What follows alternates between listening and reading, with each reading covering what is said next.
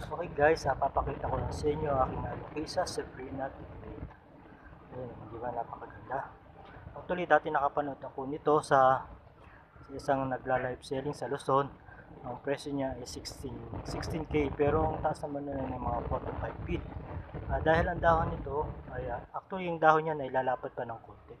At hahaba siya. Talagang napakaganda niya. Ah, actually, ah, ito ay namain ko sa isang live selling, nagla-live selling sa Davao. Ah, talagang ah, swerte tayo dahil, dahil naka-avail tayo nito.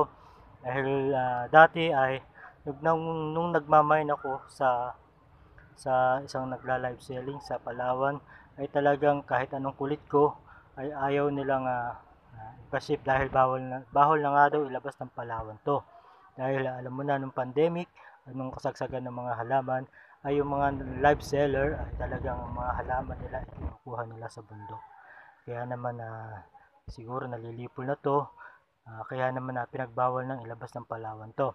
Actually nakapanood din ako na isang vlogger sa Palawan ay binilag tong uh, Alokesa Sabrina. Talagang uh, hinahayaan na lang nilang lumaki sa sa bundok ng Palawan at talagang napakaganda kasi nga ay uh, tumataas siya ng mga 6 to, 6 to 7 feet at talaga namang malaki pa sa kanya at ang dahon nito ay uh, napakaganda. Actually, sabi ko nga, lalapad pa yan ng konti at hahaba pa talaga.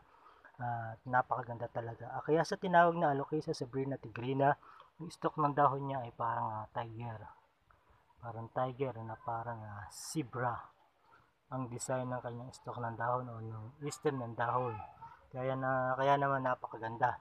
Kaya swerte tayo dahil naka-avail tayo nito noon na talagang uh, alagaan natin yan dahil uh, huwag nating hayaang malipo lang yung mga exotic plant na ganito. Kaya naman naalagaan natin yan.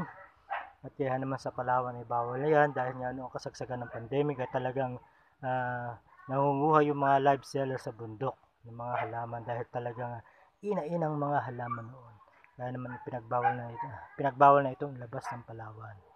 So yun lamang kaya lamang guys ang ating uh, vlog for today. Yes, yes, show. Kung di pa kayo nakasubscribe sa aking channel ay please do subscribe para lagi kayong uh, updated sa aking uh, mga bagong video. Thanks for watching.